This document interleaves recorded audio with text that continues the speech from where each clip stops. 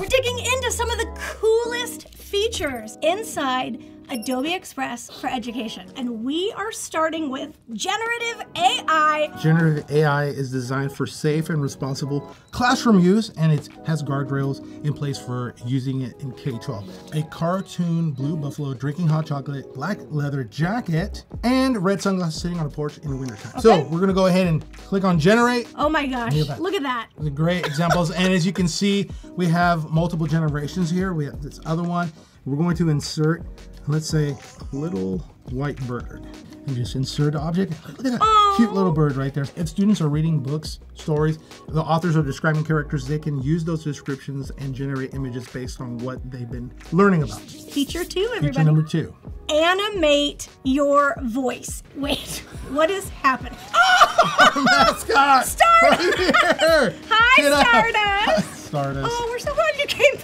I'm going to go to animate characters here, and we have all these different characters that you can choose from, which Stardust is one of the characters. So, I love that you love this pirate. He's so cool. but let's go ahead and place him right here with the ship behind. I'm going to tap on record, and it's going to give me a countdown, and we'll do a recording here.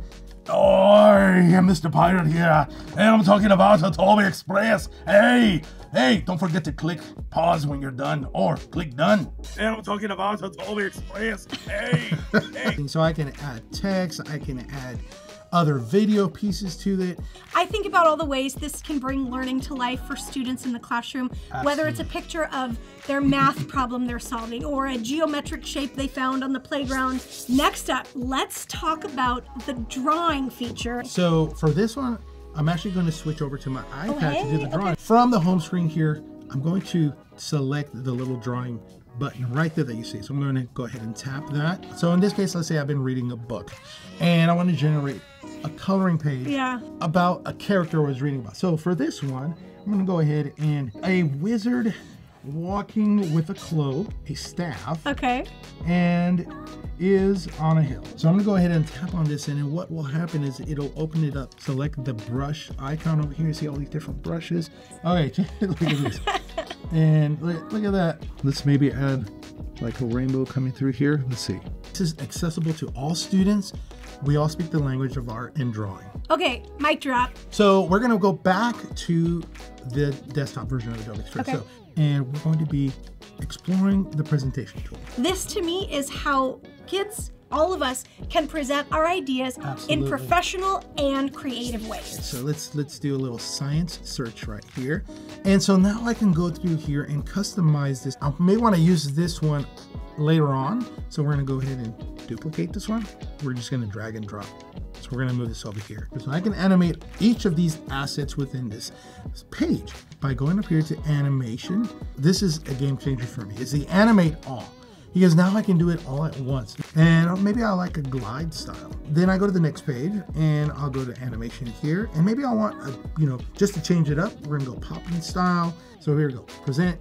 And there's nothing there. So like today, I'm going to be talking about blah, blah, blah. And then here we go. Comes up and then click again.